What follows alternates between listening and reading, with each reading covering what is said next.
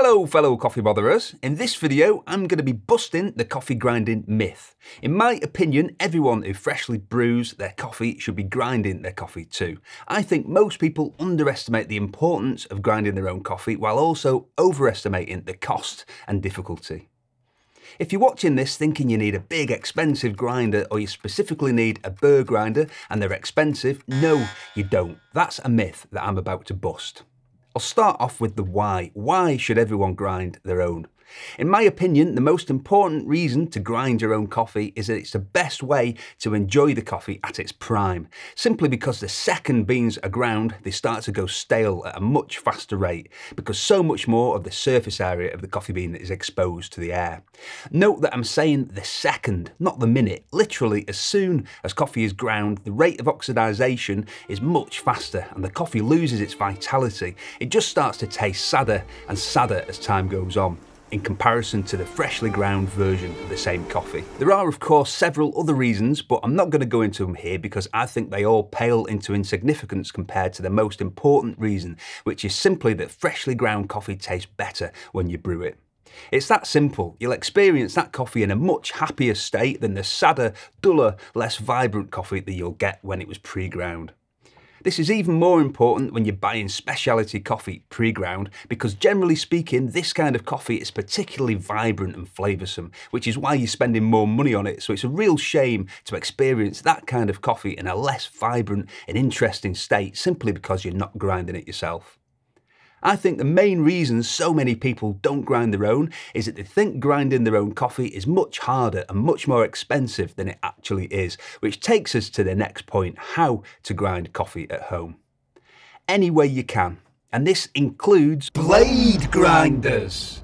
The only exception to this is with traditional espresso machines. If you're using a traditional semi-auto espresso machine like the Gaggia Classic, Rancilio Silvia or any of the Sage or Breville machines with standard traditional baskets, not the pressurized or dual wall baskets, then yes, you need an espresso capable grinder. But for all other brew methods including cafetiere, French press, filter, stovetop and espresso with pressurized baskets, you can grind coffee beans any way you like.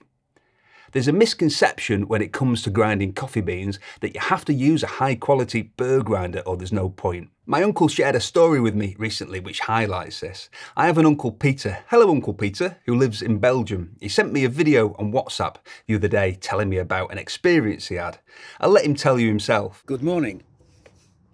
I'm fresh from the market in Mortsel, the local market. And I bought some coffee, got some croissants, all my vegetables for the next few days. Sorry, there's a wasp here. And this coffee I bought is an Antiguan coffee. Good guy at the market. He has some very good stuff. Now, when I bought it, he asked me what kind of a grinder I had. And I said it was one of those ones with a knife, a well-known coffee mate grinder. He said, no, he said, I'll sell you this coffee, but you're going to f*** it if you don't grind it with the right things because coffee should be ground like flour. It should be milled and not ground by knives. I'll sell it to you. And by this time, he was shouting like most of these market people do. And he says, listen, I'll sell it to you, but it's going to be when you drink it. And I can't guarantee you'll have a good cup of coffee. I says, oh, it's fine. Thank you for your advice. And I'll take it.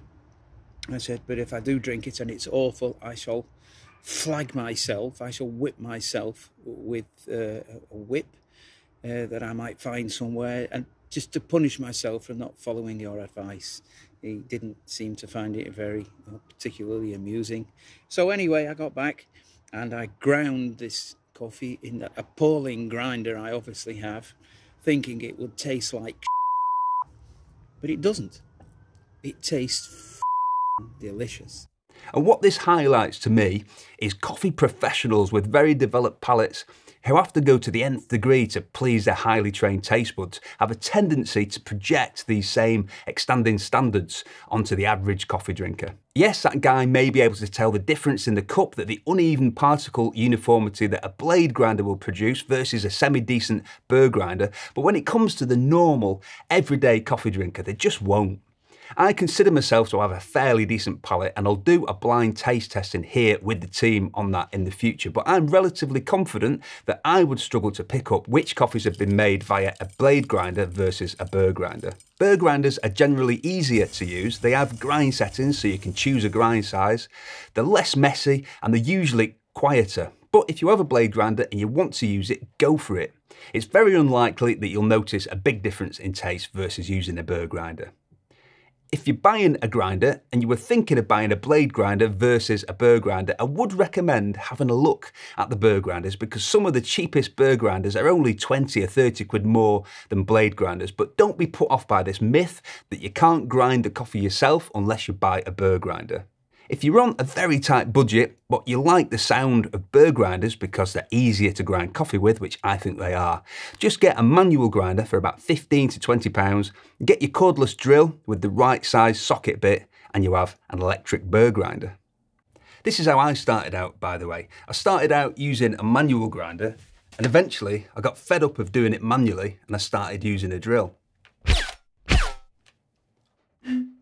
If you're deciding to spend a bit more money on a burr grinder, just keep in mind that a few of the cheaper electric burr grinders on the market don't have what I'd refer to as proper burrs. Burrs act like teeth, basically, to chew beans into uniform chunks. That's the idea. The likes of the Melitta Molino, Krups Expert and DeLonghi KG79 have what are referred to as grinding wheels. And instead of chewing the beans into uniform chunks, they mainly crush the beans. And what you tend to end up with is a similar all over the place grind uniformity than you'd have with a bladed grinder. They're fine, don't get me wrong. I'm not saying that if you have one of these, you should upgrade it. I know loads of people who have one of these grinders and who love them. I'm just saying that if you're considering buying a burr grinder because you like the idea of the better grind uniformity, you might want to give these a miss and go for a grinder with proper burrs like the Wilfa Svart, the Gaggia MD15, Baratza Encore, Dose Control Pro, Smart Grinder Pro, and so on. For more on these grinders, by the way, see this video and also my post on the best grinders at coffeeblog.co.uk forward slash grinders, and I'll link to this in the description below.